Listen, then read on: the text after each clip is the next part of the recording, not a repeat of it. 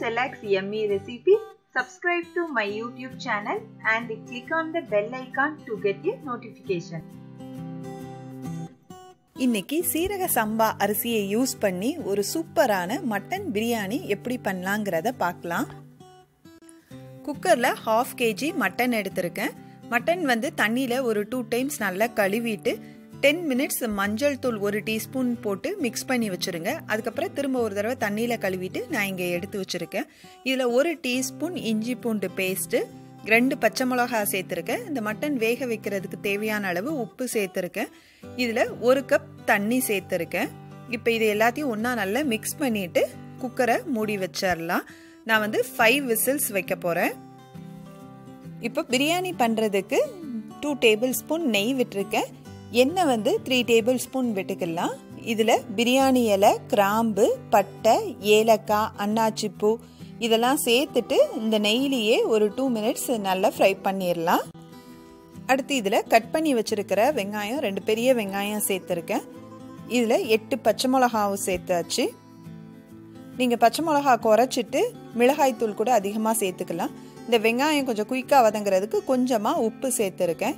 இப்போ இந்த வெங்காயம் வந்து இந்த மாதிரி நல்ல கோல்டன் கலர் வர வரைக்கும் வதக்கிடலாம். இதில் ஒரு டேபிள் ஸ்பூன் இஞ்சி பூண்டு பேஸ்ட்டு சேர்த்துட்டு இஞ்சி பூண்டு பேஸ்ட்டோட பச்சை வாசனை போகிற வரைக்கும் நல்லா வதக்கிக்கலாம்.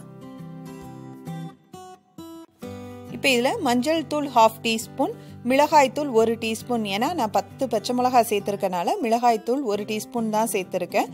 அடுத்தது கரம் மசாலா தூள் ஒரு டீஸ்பூனும் தயிர் வந்து ஹாஃப் கப் சேர்த்துருக்கேன். ஹாஃப் கப்பு தயிர் சேர்த்தனால ஒரு தக்காளி சேர்த்துருக்கேன். இப்போ இது எல்லாத்தையும் ஒன்றா நல்லா வதக்கிடலாம். இந்த தக்காளி வந்து நல்லா சாஃப்ட் ஆகிற வரைக்கும் இதை நல்லா வதக்கிக்கலாம். இப்போ ஃபைவ் விசில்ஸ் வந்துருச்சு. குக்கரை ஓப்பன் பண்ணிடுறேன். மட்டன் நல்லா வெந்திருக்கான்னு பார்த்துடலாம் மட்டன் வேகலைன்னா நீங்கள் எக்ஸ்ட்ரா டூ விசில்ஸ் கூட வச்சுக்கலாம். இப்போ மட்டன் நல்லா வெந்திருக்கு. இதில் உள்ள தண்ணியை வந்து தனியாக ஃபில்டர் பண்ணி எடுத்துக்கலாம். இப்போ பாருங்கள் இந்த தக்காளி நல்லா சாஃப்ட் ஆயிடுச்சு இதை விட்ட எண்ணெய்லாம் நல்லா பிரிஞ்சு வந்துடுச்சு.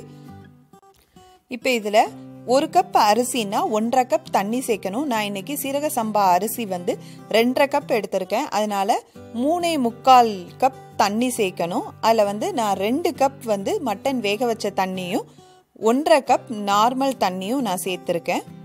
இப்போ இதில் பிரியாணிக்கு தேவையான அளவு உப்பு சேர்த்து இதை நல்லா மிக்ஸ் பண்ணி விட்டுட்டு இதை கொதிக்க விட்டுறலாம். தண்ணி கொதிச்ச அப்புறமா அரிசியை சேர்த்துக்கலாம். தண்ணி நல்லா கொதிக்க ஆரம்பிச்சிருச்சு. இப்போ இதில் வேக வச்சு வச்சுருந்த மட்டனை சேர்த்தாச்சு. அடுத்தது சீரக சம்பா அரிசி வந்து நான் ஃபிஃப்டீன் மினிட்ஸ் ஊற வச்சு வச்சுருந்தேன் அந்த அரிசியையும் இதில் சேர்த்துடுறேன் நான் இன்னைக்கு சீரக சம்பா அரிசி வந்து அரை கிலோவும் மட்டன் அரை கிலோவும் எடுத்திருக்கேன். இப்போ அரிசியை சேர்த்தாச்சு. இது கூடயே கட் பண்ணி வச்சிருக்கிற கொத்தமல்லி புதினாவையும் சேர்த்துட்டு இப்போ இதை எல்லாத்தையும் ஒன்றா நல்லா மிக்ஸ் பண்ணி விட்டுறலாம். இந்த டைமில் உப்பு காரம்லாம் கரெக்டாக இருக்கான்னு செக் பண்ணிக்கோங்க. இப்போ இதை வந்து மூடி வச்சிடலாம் மீடியம் ஃப்ளேமில் ஒரு டென் மினிட்ஸ் இதை வந்து நல்லா கொதிக்க விட்டுறலாம். இப்போ டென் மினிட்ஸ் கிட்ட ஆயிடுச்சு. இப்போ ஓப்பன் பண்ணி பார்த்தோன்னா இதில் உள்ள தண்ணி எல்லாம் நல்லா ட்ரை ஆயிடுச்சு. கொஞ்சம் தான் தண்ணி இருக்குது இப்போ இதை நல்லா மிக்ஸ் பண்ணிவிட்டு மூடியை போட்டு மூடிட்டு நான் வந்து லோ ஃப்ளேமில் ஒரு டுவெண்ட்டி மினிட்ஸ் வைக்க போகிறேன் நான் வந்து இந்த மாதிரி ஒரு தோசை கல் வச்சு நான் அதுக்கு மேலே வச்சிடுறேன். இப்போ லோ ஃப்ளேமில் டுவெண்ட்டி மினிட்ஸ் வச்சிடலாம். இப்போ டுவெண்ட்டி மினிட்ஸ் கிட்ட ஆயிடுச்சுங்க. ரைஸ் பாருங்கள் நல்ல உதிரு உதிராக சீரக சம்பா மட்டன் பிரியாணி சூப்பராக ரெடி ஆயிடுச்சு. நம்ம என்ன தான் பாஸ்மதி ரைஸில் மட்டன் பிரியாணி சிக்கன் பிரியாணி பண்ணாலுமே இந்த சீரக சம்பா அரிசியை யூஸ் பண்ணி பண்ணுற மட்டன் பிரியாணி சிக்கன் பிரியாணி இதெல்லாம் டேஸ்ட் பார்த்தீங்கன்னா ரொம்ப சூப்பராக இருக்கும்.